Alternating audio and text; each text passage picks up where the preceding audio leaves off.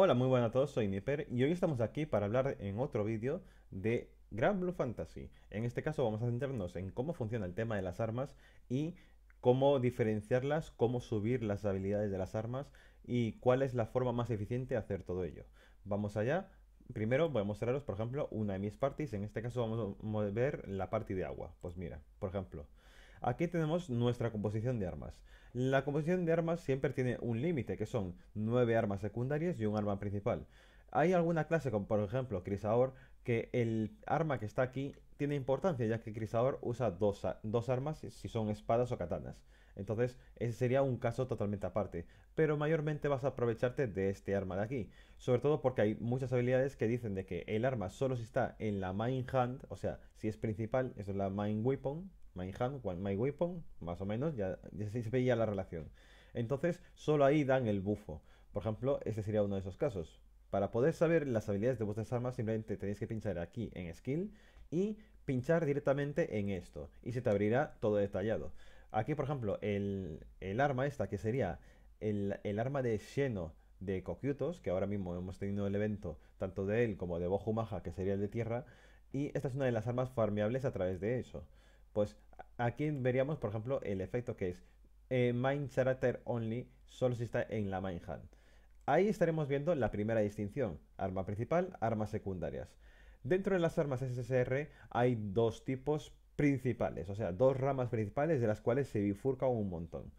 ¿Cuáles serían esas dos diferencias principales? Pues una sería eh, armas farmeables y armas que solo tocan a través de que tiras cristales o tickets esas son armas premium, por así decirlo, porque a la hora de romperlas, que también voy a explicar cómo funciona el tema de romper las armas, son bastante más eficientes que, las armas de evento o farmeables.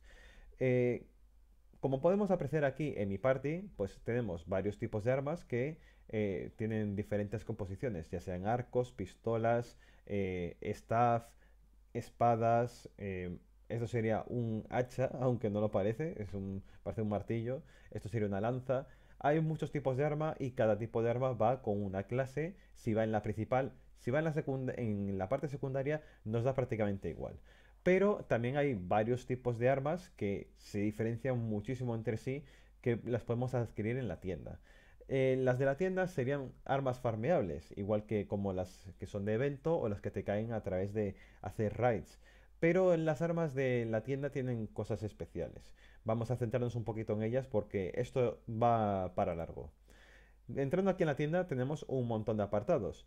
Vale, cada uno de ellos es importante a su manera. Por ejemplo, aquí tenemos la clase Weapon Weapon, que ya lo hablé en el tema de las clases, que es para adquirir clases y muchas de ellas la vamos a tener como arma principal de nuestra clase. Por ejemplo, ahora estoy farmeándome la katana de eh, Kengo porque el arma de Kengo, si la llevas como arma principal con la clase de Kengo, te da un montón de beneficios muy bestias. Eh, por ejemplo, Crisaor, que es mi, clase principal de viento, voy con la espada de Crisaor porque también me da ciertos beneficios. Ahí ya tendríamos un apartado, que serían las, eh, las armas de clase. Después tenemos aquí las Revenant Weapon.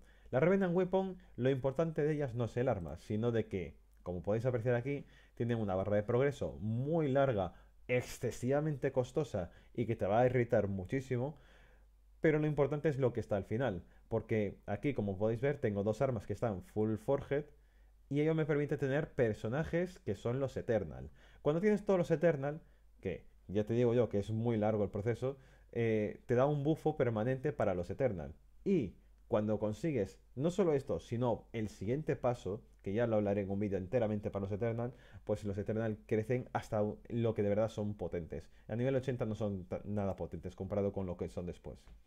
La Reina Weapon, ya os digo, es un proceso para adquirir personajes.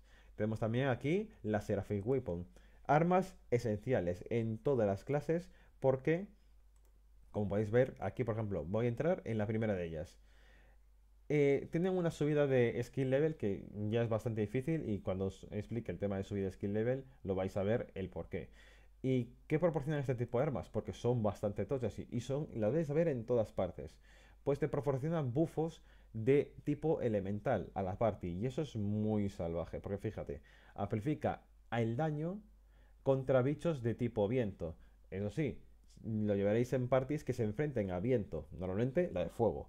Eh, hay algunos bosses que no tienen elementos y por ejemplo en ese tipo de bosses este arma no tendría ningún, ninguna aplicación esta parte de la habilidad. Eh, las Seraphic Weapons son muy lentas de farmear. Mirar lo que tienen aquí. O sea, estas ánimas son una locura de farmearlas. Eh, te vas a desesperar muchísimo. Esto se consigue en eventos, así que medianamente lo vas a poder farmear. Esto es matando a Bahamut. Esto es rompiendo armas y, summons.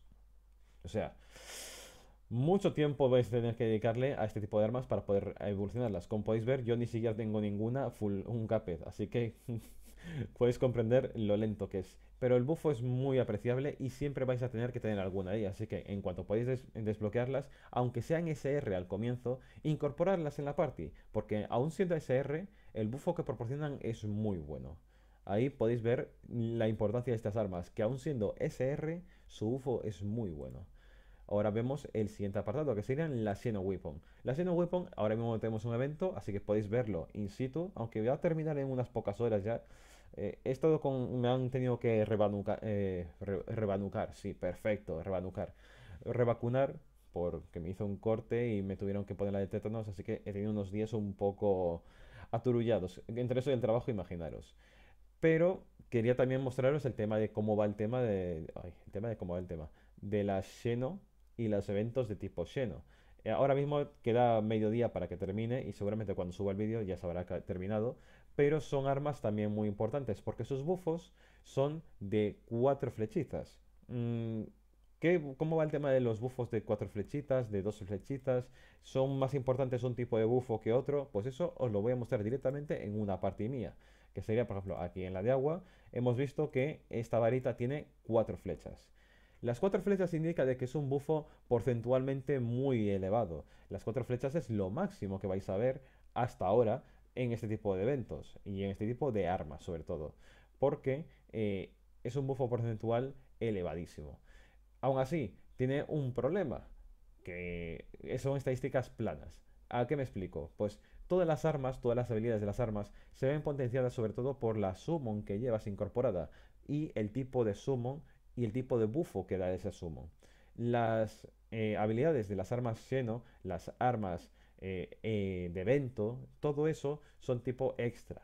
La mayoría de ellas. Entonces, si son tipo extra, no se ven beneficiados por la summon, a no ser que sean buffan el ataque, buffan el daño. Entonces sí que se verían beneficiados. Pero las invocaciones más importantes no potencian este tipo de cosas. Simplemente son estadísticas planas muy salvajes. Eh, por ello, son muy buenas, sobre todo para comienzos de los jugadores, tener todas las armas lleno evolucionadas que puedas tener al máximo. Y ah, eh, sí, he dicho evolucionadas. ¿Por qué? Porque yo, por ejemplo, ahora estaba farmeando el arpa de tanto de Kokyutos como de Bojumaja y ahora mismo voy a mostraros cómo se hace el último paso de ese, de ese bufo. Vamos aquí al upgrades. No. ¿A dónde va, Sniper? Eh, aquí la tengo. El arpa la he estado subiendo a tope. Fijaros, skill level 10 y nivel 100. Esto es lo que piden para poder evolucionar. Esta es un arma que a la hora de subir el skill level no es demasiado exigente. Voy a mostraros un arma que es exigente y otra que no. Hay diferentes tipos de armas que son exigentes. Las armas más importantes de ese, de ese índole serían, las podemos ver en la tienda porque son todas de la tienda, las muy cabronas. Tenemos las que suben de forma normal y las que suben pero siendo muy cabrocetas, que serían la Seraphic, y los dos tipos de armas de Bahamut, las Bahamut Weapons y las Ultima Weapon. Este tipo de armas eh, piden 10 eh, veces más eh, recursos para subir un nivel de skill, porque obviamente son mucho más potentes y el beneficio es inmediatamente mayor. Todas las demás armas suben de esta forma que os voy a mostrar ahora. Iríamos a Upgrade, pillamos el arma, por ejemplo, voy a pillar el arpa que he estado farmeando de Bojo Maja, que aún no le he subido el skill level para poder mostraroslo. Aquí lo tengo. Y hay dos formas de subirlas. Sería o subiéndolas, dándole de comer armas SR, varias de ellas. Por ejemplo, aquí tiene que ser con skill. Y fijaros, 50% de probabilidades de que suba el skill level. Y dándole otra más, subiría al 100%. pero no quiero gastar dos armas SR. Eh, hay una forma de poder evitarlo, que sería, tú coges un arma SR previamente, voy a coger cualquiera que tengas por aquí, mira, esta por aquí, tú la coges y te vas a por tus armas tipo R que tengan skill. A ver si las encuentro porque... creo que tenía aquí unas pocas. A ver si soy tan tonto que antes del vídeo las he dado de comer ya. Soy tan tonto que antes del vídeo le he dado de comer. Vale. Os lo explico de otra manera. Las armas R, las que tienen skill, que son las que tocan en las tiradas diarias que tienes a través de rupias en, en la zona de draw de rupias, eh, las armas R, esas tienen skill. En algunos eventos te pueden tocar armas R que tengan skill. Y eh, todas las armas R que caen en las tiradas de cristales o de tickets tienen skill sí o sí. Pues cada cuatro de ellas, si las unes y se las das de comer a un arma R, eh, SR que tenga skill, sube en uno. Y pasaría esto que vamos a ver aquí. Tendríamos un arma Aquí está. Si es que lo di de comer, soy tonto. Eh, tendríamos un arma con skill level 2 tipo SR. Y aquí viene la magia, porque pillamos el arpa. Y si le damos solo un clic, solo un arma, subiría el skill level al 100%. Sí o sí, tenemos esa habilidad subida. Vamos a hacer el proceso, porque esto lo tengo que hacer de todas formas. Y simplemente con subirlo, aquí podéis ver todo el porcentaje de probabilidades, las posibilidades de que salga un gran suceso. Un gran suceso es cuando sucede de que el potenciador de em, experiencia, que lo vemos aquí en naranja, se duplica. Yo tengo muchos buffos porque ya he avanzado mucho en el juego. Y esos buffos que se van acumulando con los ID, con completando misiones de la misión principal, etcétera, van a hacer de que este número nunca va a ser así. Aunque no me toque el gran suceso, siempre va a ser superior, porque tengo muchos buffos dándome un respaldo para que eso suceda. Le damos a upgrade. Como es un arma que tiene skill level, siempre te va a hacer esta pregunta. Tú le das que sí. Y tenemos aquí, y mira, ya ha tocado gran suceso. No lo necesitaba este gran suceso aquí porque era un único arma. Lo, que de verdad quieres el gran suceso es cuando tienes un montón de armas de las que dan eh, nivel no las que dan skill level. Y aquí podemos ver eh, lo importante de este vídeo ahora mismo, que es el skill level. Subiría a 2. Y esto, ¿cómo sabemos que mm, va a ser siempre así? De que un arma SR de nivel 2 le da un skill level. No. Esto es eh, exponencial, o sea, dos armas SR suben de skill level 1 a skill level 2. Cuatro armas SR suben del 2 al 3. Seis armas suben del 3 al 4. Y así constantemente. Podéis hacer el cálculo en vuestra mente de que eh, un arma eh, que esté en skill level 1 necesita 2. Si está en skill level 2 necesita 4. O sea, siempre es el doble del nivel en el que está. Esto es diferente con las armas de tipo Bahamut, con las armas de tipo Seraphic y esas que son tan molestas. ¿Por qué? Porque esas en lugar de funcionar con SR, funcionan con SSR, o sea, se alimentan de armas doradas. Eso es muy comprometido a la hora de la gente que está empezando, que tiene pocas armas doradas, y para eso sirven las armas farmeables que no tienen una habilidad apropiada para llevarlas en tu party. ¿Por qué? Porque esas armas son farmeables, te van a caer cada 2x3, las puedes comprar incluso en eventos, por ejemplo en el evento este de Charlotta te venden eh, una espadita dorada que dices, pues ¿para qué me sirve? Pues le subo un poquito de skill level porque funcionan igual también o sea, un arma dorada que tenga skill level 2, a la hora de dársela de comer a otro arma, cuenta como si le estuvieras dando dos armas doradas de skill level 1. Y así exponencialmente. También hay otro tipo de armas que se eh, tienen que alimentar de esa forma, que serían las Opus.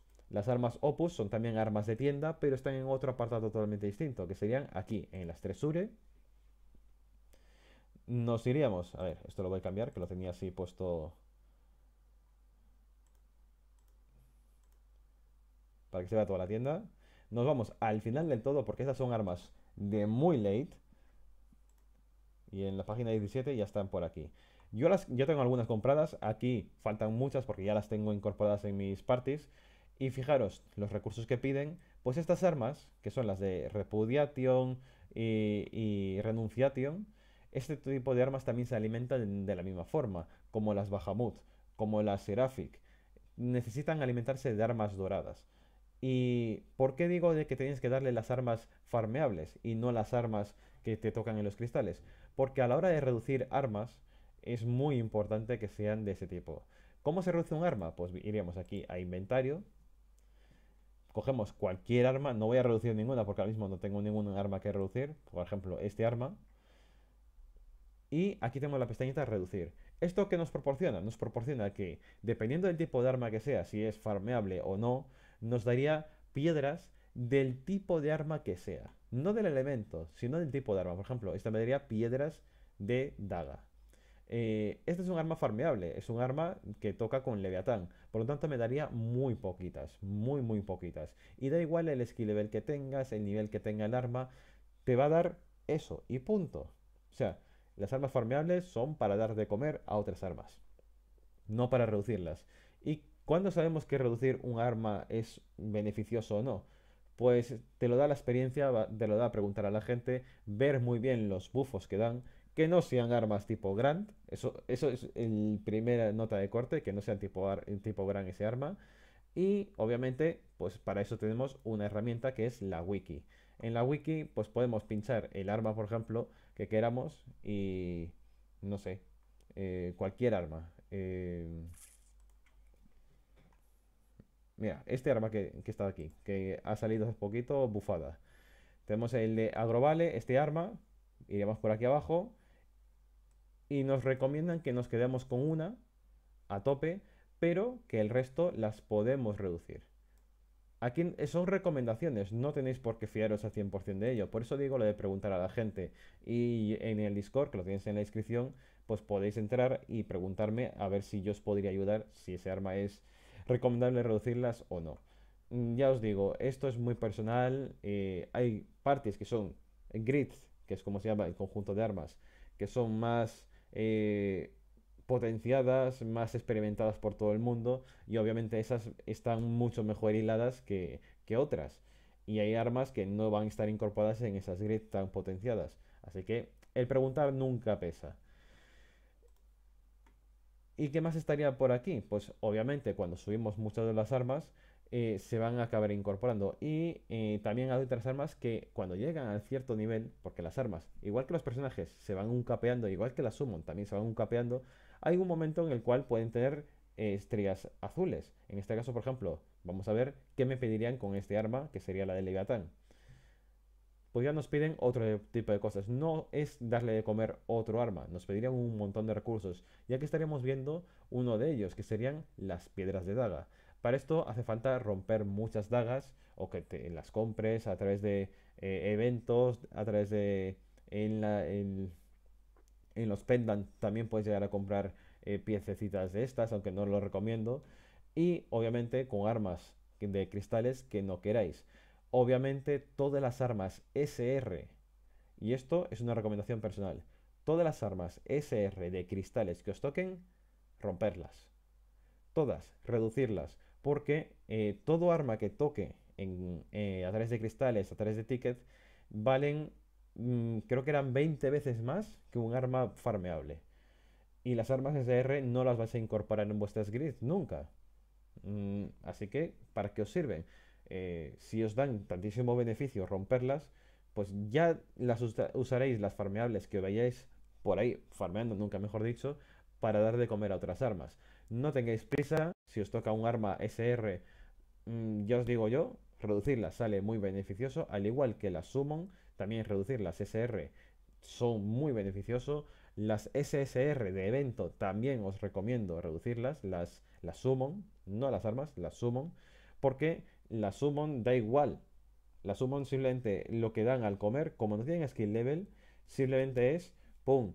Te da un, un poquito de experiencia. Y para eso, obviamente, están las armas de experiencia y las summon de experiencia. Y tanto lo he dicho, pero no os he mostrado ninguna de ellas. Pues, por ejemplo, vamos aquí con un arma que estoy subiendo ahora mismo. Que. ¿Cuál era? Aquí está. El arma de Kengo, que lo estoy subiendo ahora, pues por ejemplo, ¿qué le daría de comer a este arma? Que ya está bastante elevada. No tiene skill level porque es un arma de clase y no tienen skill level, pero tienen otro tipo de buffos por llevar la clase. Y me iría aquí, por ejemplo, las armas eh, que son upgrader. Tú se las das y tienen muchísimos más beneficios al dárselas todas. Eh, da igual la cantidad que le, que le metas del mismo tirón. Eh, no va a potenciar porque le metas un montón de ellas. Simplemente, como esto es una katana, cuantas más katanas le meta, cada katana individualmente le va a dar más bufo que, por ejemplo, las arpas estas. Simplemente es el mismo proceso, le daríamos aquí a upgrade y podríamos automáticamente darle a que suba. Y fijaros, 2600, yo tengo un montón de bufos y esto se convierte en 3600, sin, sin gran suceso, simplemente por completar misiones de la, de la campaña principal. También hay otra forma de poder potenciar estas cosas, que para eso es por lo que tenéis en vuestro perfil, aquí tenemos un apartado en el cual tenemos la summon que nosotros prestamos a la gente, que esto lo configuráis vosotros. Entráis aquí en vuestro perfil, pincháis en la summon, escogéis una, eh, os recomiendo que sea del propio elemento, y cada vez que las usen, os van a proporcionar una, un tipo de moneda. Y cuanto más lo usen, más vais a subir de rango de este tipo de moneda, que serían las Journey Drops. Eso que veréis todos los días eh, cuando aparece eh, un reseteo del juego, diréis, eh, las Journey Drops, como esto, mm, ¿qué son? ¿Para qué sirven? Pues sirven para esta parte de aquí. Y eso es muy importante a la hora de subir de nivel, tanto de summons, de personajes y de armas. ¿Por qué? Porque tenemos varios tipos de bufos. Yo aquí, por ejemplo, quedé en platino en el, último evento que hubo. Mm, se utilizaron muchísimo mis summons y obviamente subí a platino. ¿Qué implica esto? Pues de que tengo mucho más acceso a la hora de utilizar bufos. Aquí podéis ver que tengo hasta poder meter tres activos.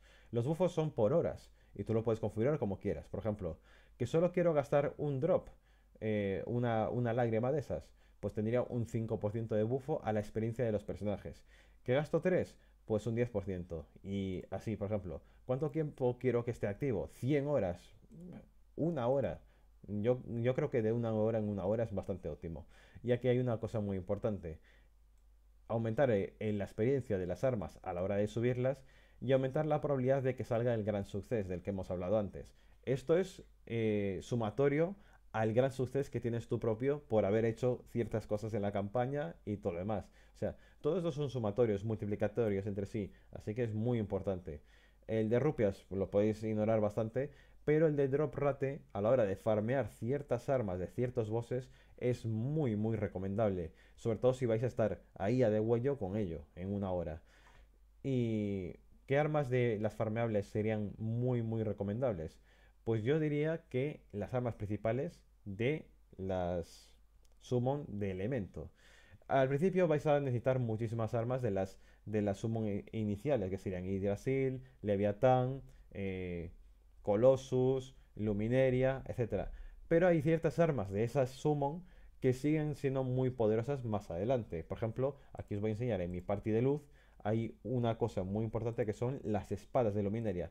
Todas las summon tienen alguna de esas armas, porque tienen varios tipos de armas que te pueden dropear, tienen siempre algún arma que es muy importante. Y en este caso, por ejemplo, voy a, deciros cada uno de ellos.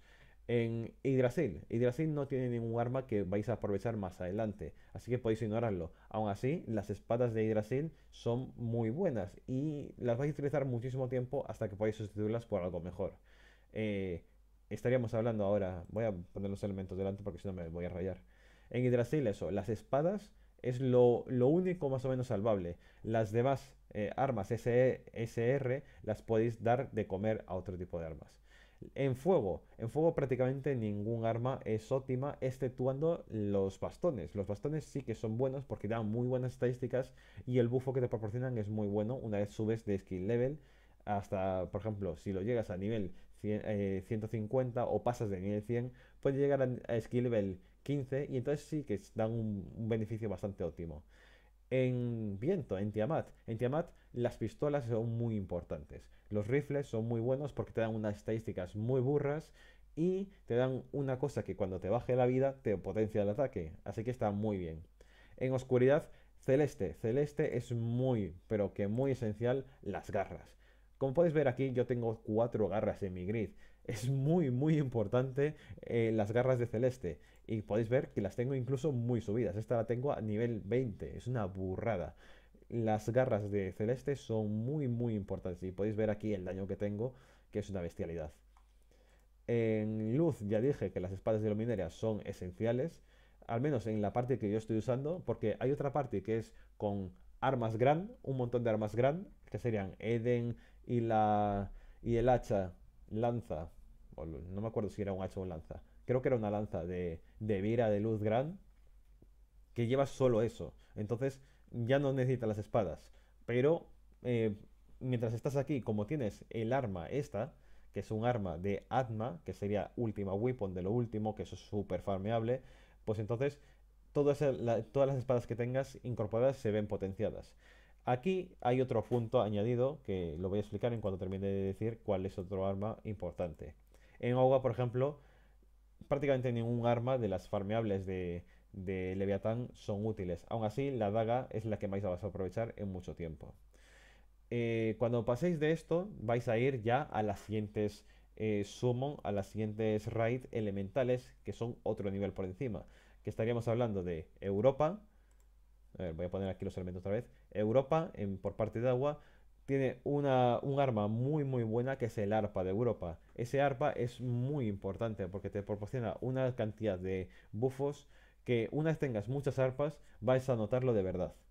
En luz, eh, ya os digo, la build esta de espadas es relativamente barata de conseguir y te proporciona unos beneficios muy inmediatos. Entonces, eh, aunque hay algunas cosas en, en el en la summon esta elemental de mayor nivel de luz, pues con las espadas os basta. Aún así, hay un, hay un arco que os puede ser bastante útil, porque te proporciona unas estadísticas muy buenas. En oscuridad, obviamente en Diablo hay un arma que sí que es muy buena, que sería este arma de aquí. Este, como podéis apreciar, tiene este bufo de aquí, que es que te potencia el cap de, las, de los Ougi, de las ultis de que meten tus personajes. Así que tener uno o dos de ellos es bastante útil de cara a potenciar vuestras parties. Ya si nos vamos a viento, pues aquí obviamente lo importante es el arpa. El arpa de Grimmir es brutal, porque los bufos, mm, fijaros, yo lo tengo ahora mismo que ni siquiera tiene todas las estrellas. Está a nivel 60 por ahí. Y me proporciona un montonazo de daño de crítico, un montonazo de daño cuanta más vida tengan mis personajes es una burrada. Así que, importante, las arpas de Grimir. Si nos vamos a tierra, estaríamos hablando de Brodia. En este juego, en la traducción al inglés es Alexiel. No sé por qué, pero así, así funciona, hay que comprenderlos. En Alexiel hay dos armas, dos armas muy importantes, que serían tanto el hacha, que la podéis estar viendo aquí, como la katana de Alexiel. Entonces, cualquiera de esas dos armas son muy buenas. Ya os digo, no gastéis lingotes en ellas, porque son farmeables pero son muy muy buenas en ello. También tenemos en otro elemento que sería en fuego. Aquí mm, yo apartaría en fuego el tema de lo que puedes conseguir a través de Shiva, porque Shiva en sí mismo, las armas que te proporciona no son tan importantes como pueden ser otro tipo de armas y vas a acabar llenando esto de otro tipo de armas que al final las armas elementales per se no son tan importantes. Y obviamente, como tengas esta katana que tengo yo aquí, que es la Ishaba, te vas a olvidar de todo lo demás. Porque fijaros todo lo que proporciona. Cuatro flechitas para arriba con un sumatorio de triple, tipo inferno. Y aún encima te da, cuanta más vida tengas, más daño. Es una burrada. Todo lo vais a estudiar por esto. Y es que el, la grid de fuego tipo elemental de las armas farmeables pierde mucho potencia comparado con estas cosas. Esto es una verdadera aberración. Ya os digo, este daño no os fiéis. De verdad hace mucho poder. Y todo potenciado siempre con las armas de tipo Opus, que cuando tengáis acceso a ellas vais a tener un arma tipo Opus siempre. Hay dos por elemento. Cada una funciona de su manera. Hay una que serían las de tipo Omega, que son Omega significa que son armas potenciadas por la summon de elementos, ya sea Hydrasil, Leviatán, eh, Colossus, etc. Ese nivel de summons potencian esto, que son las, las summon que vais a tener vosotros, SSR, más potenciadas de cada uno de los elementos. Así que si, veis, si tenéis toda la grid dedicada a esto, de la omega, vais a ver mucho beneficio de coger esa suma en concreto. Aunque un Shiva, por ejemplo, os os llame muchísimo de, guau, es que Shiva me proporciona mucho daño, etcétera, probar Colossus si tenéis toda la grid dedicada a esto de las omegas. Vais a notar una mejora muy, muy salvaje. Y esto sería unas pinceladas así por encima, un poco eh, aturullado, porque no, no, me he sabido explicar apropiadamente. Estoy haciéndolo sin cortes. Y estoy un poco groggy aún por la vacuna y porque, no sé, estoy enfermo de la cabeza o algo. Y espero que os haya ayudado como, como sea posible. Mm, sé que no, no, me explico muy bien aún con Grand Blue Fantasy. Yo sigo aprendiendo todos los días en este juego. Es un juego extremadamente complejo, extremadamente largo. Es un juego de farmeo, es un gacha. O sea, y, y encima tenemos eventos constantemente. Ahora mismo tenemos un evento que es el de Charlota. Lo voy a poner por aquí. Y tenemos el calendario de eventos es muy salvaje. Hemos tenido ahora dos llenos. Em, tenemos ahora mismo el de Charlota, que es un poquito light. Ha incorporado una side story más. O sea, más cosas para farmear cristales. Eh, tenemos el tema de que ahora mismo están potenciando que tenga un tipo de elemento, que es el tipo de elemento de viento. Los personajes que han adquirido la estrellita azul de viento eh, tienen potenciado ahora que te toquen. Dentro de poco vamos a tener el evento de San Valentín, con el cual tenemos muchas actuaciones con los personajes, te dan, te dan chocolates, los chocolates te dan bufos de, de que te recuperan la energía. Mm, si se le das un, chocolate a un personaje, le da un montón de experiencia. Después tenemos el Unit Fight de tierra, que va a ser una salvajada, por eso tenemos el bufo este. y así constantemente. Es un juego tan complejo, tan largo, tan que no para de crecer, que sinceramente no creo que sea el que mejor esté explicando esto, pero espero que mi granito de arena os ayude aunque sea un poquito. Y nada, aquí ya me despido, espero que os haya gustado, espero que os haya sido mínimamente útil y nos vemos en el próximo vídeo o en el próximo directo. Hasta luego, hasta otra. Pero no me voy sin que veáis lo que me toca hoy porque estamos con una tirada gratuita todos los días por el tema de que ha salido el Gran Blue Fantasy Versus, el juego de peleas de C Games.